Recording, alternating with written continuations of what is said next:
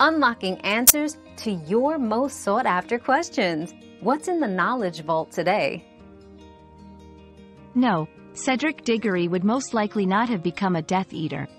Cedric was known for his strong moral compass, fairness, and bravery. These traits are fundamentally opposed to the beliefs and actions of Death Eaters. In the Harry Potter series, he is depicted as a true and loyal Hufflepuff, making the idea of him joining the Death Eaters highly unlikely. Our quest for knowledge never ends. Thanks for being part of today's discovery.